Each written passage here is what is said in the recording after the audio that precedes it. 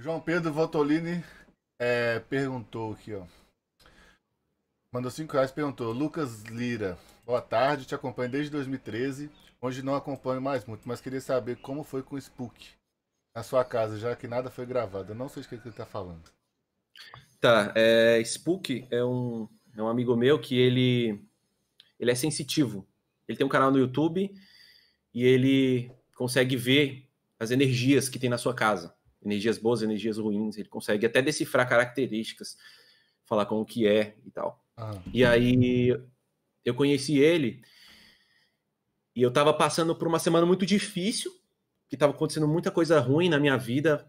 Foi uma semana terrível, assim, tipo, bater carro, é, não tava conseguindo gravar os vídeos, problema com internet em casa, problema com um funcionário. Tava na zica. Completo. Tava na zica, tinha alguma coisa errada. Aí eu chamei ele lá em casa e ele foi lá para ver o que, que tinha de energia dentro da casa. Eu não estava acreditando muito. E hoje, hoje eu também não acredito 100%, mas algumas coisas que ele falou bateram muito, assim. E aí ele foi lá e falou, olha, tem tantas... Porque não é espírito que fala, né? Entidade. É, é entidade. Ele chama de obsessor. Ele fala, ah, tá. são obsessores. Aí ele falou, ó, tem tantos obsessores aqui na casa, descreveu todos eles e falou, olha, um deles é, que está causando tudo isso de ruim na sua vida, que foi um obsessor que eu trouxe do cemitério quando eu fui gravar lá, uma semana antes. Eu fui gravar num cemitério de madrugada, fui com drone, invadi o cemitério com drone, e aí ele falou que nesse dia um obsessor veio do cemitério, me acompanhou até em casa, ele estava comigo para todo lugar que eu fosse, e ele tá descreveu a característica, falou que era tipo um obsessor que tinha uma aparência de lodo, assim, tipo lama, assim, escorrendo, por onde ele andava, ficavam os rastros, assim. E do lado da minha cama, onde eu durmo, isso foi muito louco, porque ele foi lá no meu quarto e ele falou assim: ó, você quer que eu diga em qual lado da cama você dorme? Aí eu falei assim: quero, mas como é que você vai? Como que você sabe? Aí ele falou: porque do seu lado tá cheio de lodo. Falei: tá bom, então fala onde é que é. Aí ele apontou, ele falou: você dorme daquele lado ali. E era o lado que eu durmo. Tudo bem, ele tinha 50% de chance de acertar e de errar, mas ele foi tão convicto que me deu um susto. Porque ele nem bambiou, sabe? Ele falou: é desse lado aqui que você dorme, porque tá cheio de lodo aqui, ó.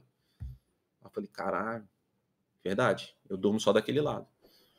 E, e aí... Mas aí você ah, fez alguma coisa para melhorar ou só curiosidade? É, ele, o, o trabalho dele é, é, com limpezas de casa.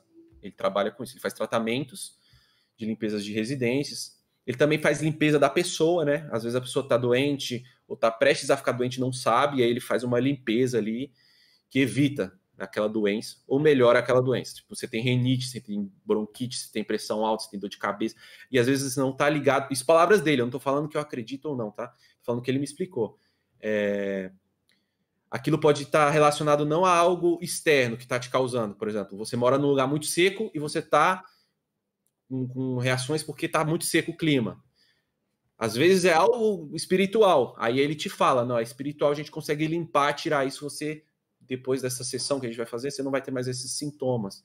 É. E aí ele fez um trabalho que ele tirou os obsessores da minha casa. Ele levou uns instrumentos que são, acho que é, é do budismo. Eu acho que ele é budista e ele é, tipo assim, ele é graduado no budismo tibetano, que ele foi para outro ah. país e fez graduação e tal. E ele tem um certificado de, de ser uma pessoa é, capacitada para fazer aquele trabalho. Ele tem um certificado pelos budistas tibetanos que foram que deram o curso e ele passou por esse processo. Aí ele limpou a minha casa e, por coincidência ou não, é, da, daquele dia para frente a nossa vida voltou ao normal, voltou aos eixos, né? Porque estava dando tudo errado. Brain Gas by Caio Botura.